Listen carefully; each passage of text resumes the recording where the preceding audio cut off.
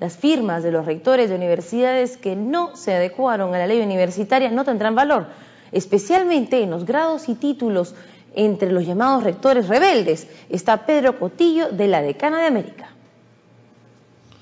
La SUNEDU adoptó una nueva medida preventiva contra los llamados rectores rebeldes. A partir de lunes, las firmas de las autoridades que no se adecuaron a la ley universitaria, entre ellas la de Pedro Cotillo, no tendrán valor en el Registro Nacional de Grados y Títulos.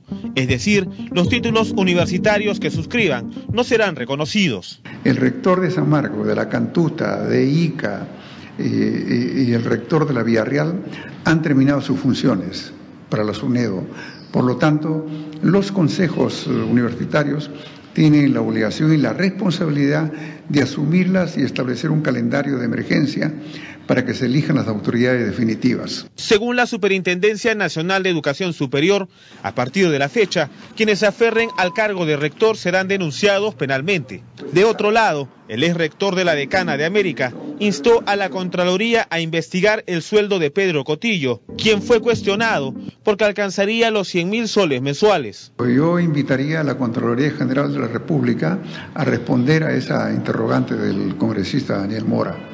Son ellos, eh, a través de su oficina particular que tienen en la universidad, de pedir a planilla de San Marcos eh, si es esto correcta esa afirmación y cuánto era realmente el sueldo del rector Cotillo. Eso merece una investigación. Entre las universidades que hasta el momento no se adecúan a la ley están la Universidad Nacional Mayor de San Marcos, Federico Villarreal, Enrique Guzmán y Valle La Cantuta, la Universidad Nacional de Trujillo y la San Luis Gonzaga de Ica. En cuanto a la decana de América, se sabe que sus autoridades se reunieron para definir la situación interina. Los resultados serían informados por la SUNEDU en las próximas horas. Asimismo, se tiene previsto que los alumnos se movilicen para exigir el retiro de Pedro Cotillo.